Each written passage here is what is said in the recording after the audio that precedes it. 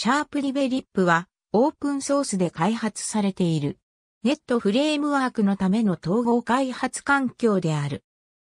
SharpDevelop 自体も .NET Framework の可能性を示すため C 言語を用いて開発されており、.NET Framework 上で動作する。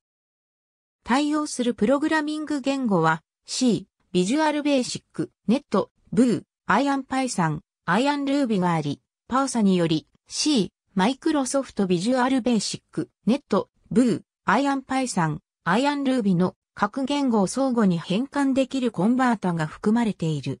バージョン5.0からは C のみの対応となった。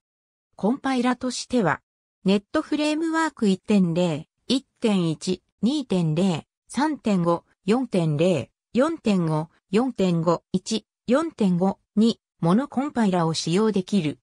また、 SharpDevelop 2からは、 Visual Studio と同じ MSBuild プロジェクトファイルを使用し、 Visual Studio と互換性のあるソリューションプロジェクトファイルを扱うようになっている。また、以下の外部プログラムと連携することも可能である。